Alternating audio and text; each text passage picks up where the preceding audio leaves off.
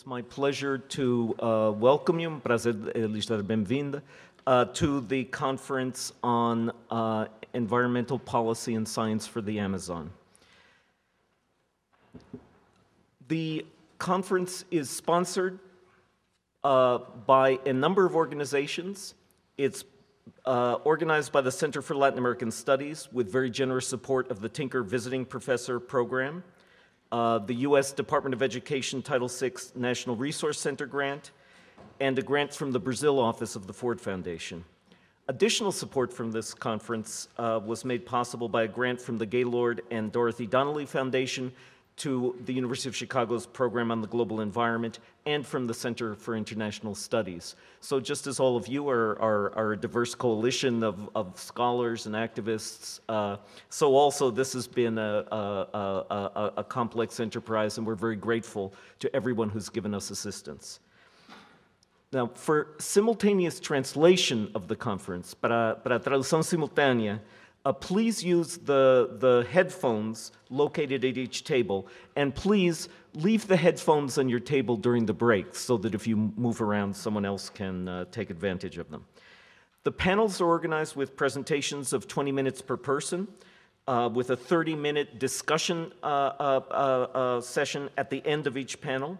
So we ask that members of the audience with questions please leave the questions for the end of the panel and form a line at the microphone at the uh, northwest corner of this room uh, so that your questions can be recorded. We're uh, recording the conference. Então, eh, pedimos que quem tiver uh, uma intervenção para fazer ao, ao final de uma mesa, uh, que fale no micrófono eh, ubicado aqui na, na, sala. in addition to the questions at the end of each session, on Friday, tomorrow, at the end of the afternoon, there's going to be a two hour discussion. So we hope that you will uh, not only uh, uh, have, have comments and, and interventions at the end of each panel, but that you, will, uh, that, that you will bring something to the debate. For our guests in the audience, we've provided a map to uh, uh, places to have lunch on campus in, in, in the neighborhood. And finally, I want to point out to you the staff from the Center for Latin American Studies who are organizing the event and are here to help you. Uh, Frutoso Santana, Frutoso, can you uh, get up, please? Uh, Julene Iriarte, there at the, at the back of the room, and Josh Beck, whom I don't see. Ah, there's Josh. So if, if you have any questions about the logistics of the conference, please uh, speak to Frutuoso, to Julene, or to Josh Beck. Uh, qualquer dúvida, qualquer pergunta, assistência que, que, que requerer é com Frutuoso ou com Julene. Uh, and it's my pleasure to introduce uh, Dean of Social Sciences at the University of Chicago, Mark Hansen, who will make some introductory remarks, and then he'll be followed by Ambassador Jean Olmino, Consul of Brazil in Chicago, who will also speak on, uh, on, on, uh, uh, in, in, in, introduction. That will be followed by a very brief uh, video presentation uh, from former Senator Ma Marina Silva, and then the first panel will be seated at the table. So, Mark? Good morning. On behalf of the faculty, the students, and the staff of the Division of the Social Sciences at the University of Chicago, and on behalf of the entire University of Chicago community, I'd like to welcome you to our campus and to our program of activities on environmental policy, social movements, and science for the Brazilian Amazon. This conference represents the joint activity of two of our most vibrant programs, the Center for Latin American Studies and the Program on the Global Environment, and it represents the vision of one of our most distinguished Brazilianists, Manuela Carneiro de Cunha. This topic could not be more timely and more important. Brazil has leapt into leadership in the Western Hemisphere in both the economic and the political domains precisely at a time when the issues of global environmental degradation and sustainability have become the most urgent. As the chief steward of the Brazilian Amazon region, Brazil will play a leading role in the world's environmental future. I hope that this conference will elevate the political and scientific debate over the future of the Brazilian Amazon and knowing the quality of the participants in the conference today and tomorrow, I am confident that it will. So again, welcome everybody to the University of Chicago campus. Uh, I look forward to uh, an interesting and informative uh, and ultimately influential conference on the future of the Brazilian Amazon. Thank you. Well, good morning. My name is João Almino. I'm the Consul General of Brazil here in Chicago. Uh, I'd like, first of all, to say how pleased I am to be here at the university once more. I'd like to congratulate uh, Dean Mark Hansen, and very especially my dear friend Dane Borges for the great work they have done here at the university. Dane himself, a historian and um, Brazilianist who has done uh, important research on Brazil. It has been a pleasure for me to work with him uh, in several different uh, uh events uh, here at the university. Uh, and since we have in fact, interpretation, I think I would rather speak in Portuguese, if you allow me. Uh, and, and since there are also many of you who are here present who are Brazilians and the speakers, many of them are Brazilians, I'd like to say uh, to them and to you all a few words. É, em primeiro lugar, dizer que foi um grande prazer para mim olhar a lista dos conferencistas e verificar que há nessa lista vários deles que são velhos conhecidos meus ou, é, na verdade, autores de livros importantes que eu já li no passado. Apenas para citar aqui alguns exemplos, o Jorge Viana era governador do Acre quando eu, então diretor do Instituto Rio Branco, levei lá ao Acre a turma do Instituto Rio Branco e foi de fato uma grande lição para todos nós as exposições feitas não apenas por ele, mas por todo o seu secretariado, sobre as muitas iniciativas na área ambiental que foram levadas adiante na sua gestão, é, lá no estado do Acre. A Mary Alegretti, na época que eu é, servia em Washington e preparava uma, uma dissertação que fazia parte do meu processo dentro do Itamaraty, é, uma espécie de tese sobre assuntos ambientais, muito me ajudou nesse trabalho indiretamente, pelas, pelos excelentes artigos, então, que ela escrevia sobre o assunto.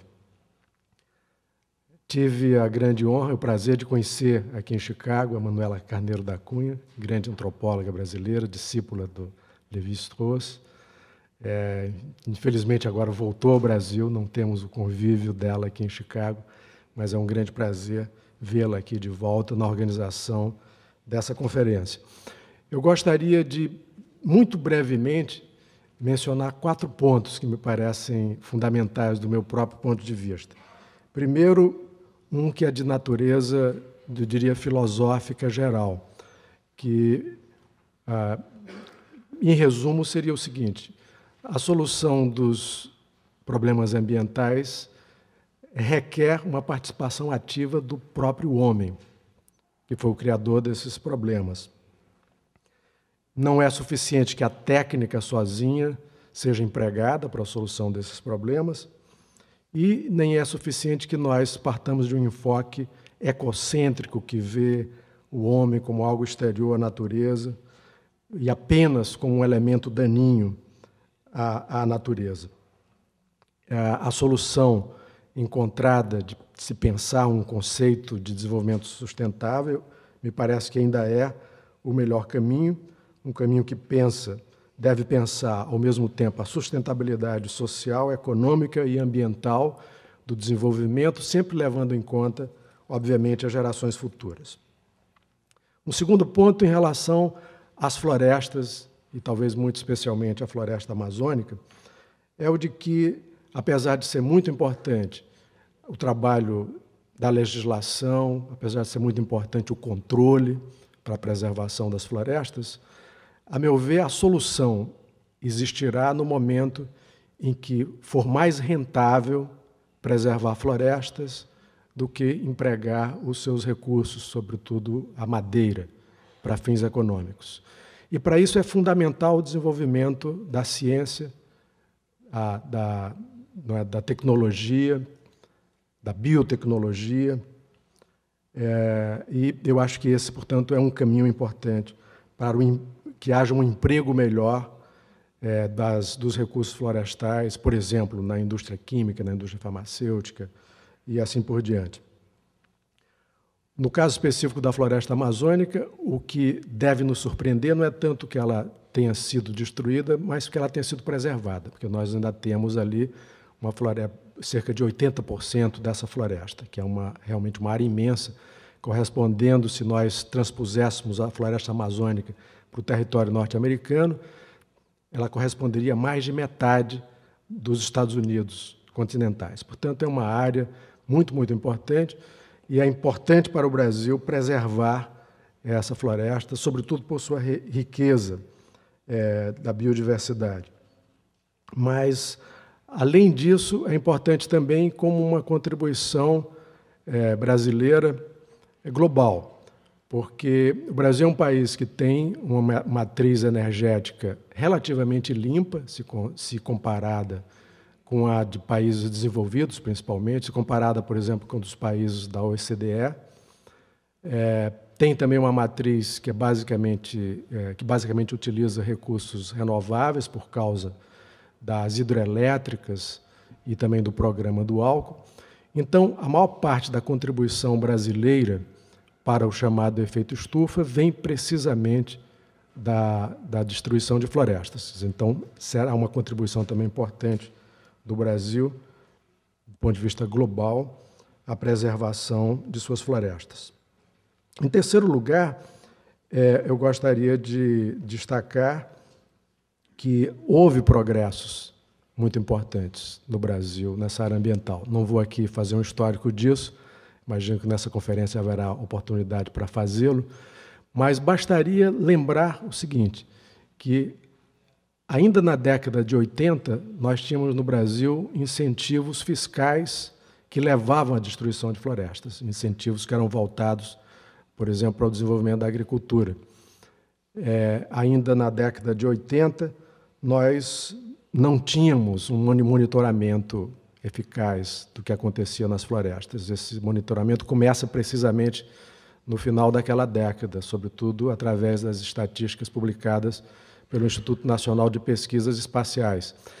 E é interessante notar que a conscientização que houve em relação à preservação da floresta amazônica, não apenas no Brasil, mas a nível mundial, ocorreu precisamente coincidindo com o trabalho brasileiro, sobretudo do INPA, de divulgar essas estatísticas. É no momento que o Brasil começa a monitorar o que ocorre na floresta amazônica, que os problemas se tornam mais patentes, que, por exemplo, tornam-se conhecidos os, os números relativos a incêndios nas florestas. Por exemplo, até então nós não tínhamos é, esse conhecimento preciso.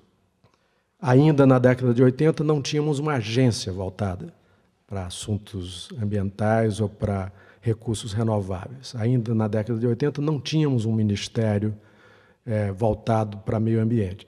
Obviamente, a situação é muito diferente é, nos dias de hoje. Os desafios são imensos ainda, esse é o último ponto. Obviamente, temos ainda muito que devemos fazer nessa área de preservação ambiental, especificamente voltada para a preservação das florestas, floresta amazônica.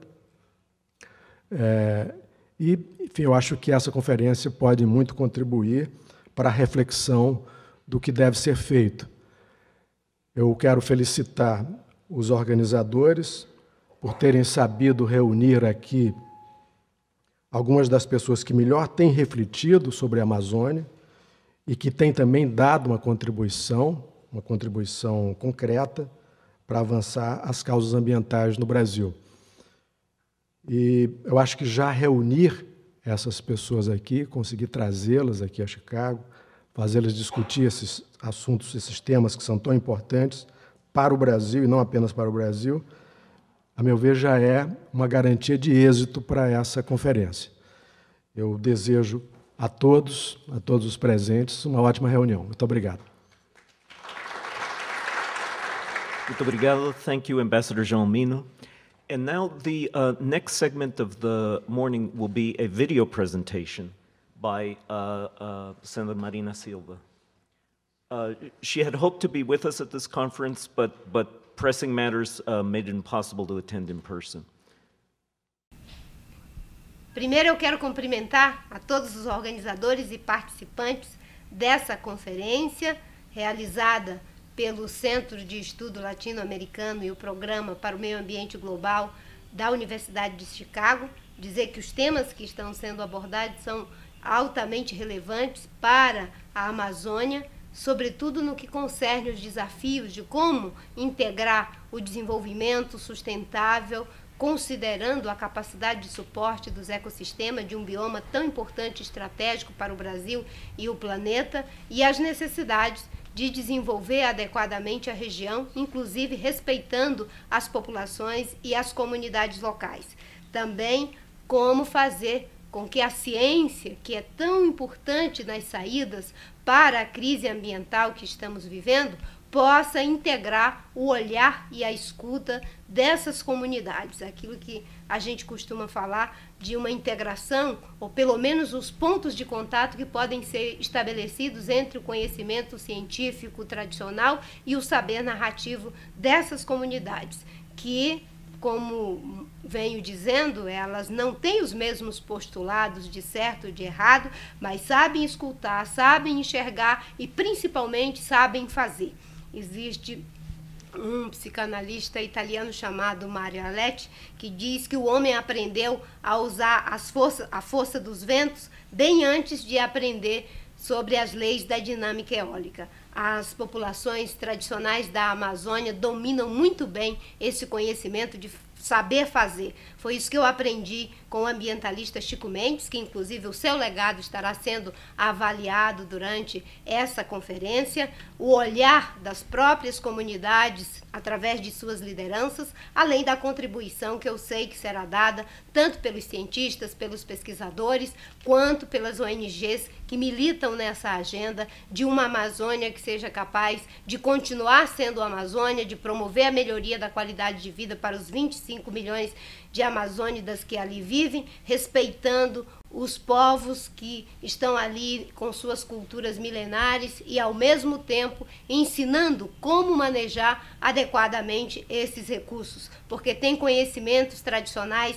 associados aos recursos naturais. Parabenizo todos os organizadores e sei que as políticas públicas ao longo desses 20 anos também estarão sendo avaliadas. E eu acho que uma das grandes contribuições que podemos verificar é essa, junção entre experiências piloto que foram realizadas ao longo do tempo e a transformação dessas experiências piloto em políticas públicas, como tivemos a oportunidade de fazer com o plano de combate ao desmatamento, que foi uma inspiração em várias ações que já tínhamos ao longo do tempo. Transformamos isso em uma política pública com um resultado fantástico em termos de redução do desmatamento, que nos possibilita agora pensarmos uma, em uma meta de redução de CO2 pela diminuição do desmatamento, que gerou também um programa de apoio a florestas tropicais a partir da experiência brasileira. Mas, como eu sempre digo, todas essas ações são apenas o começo.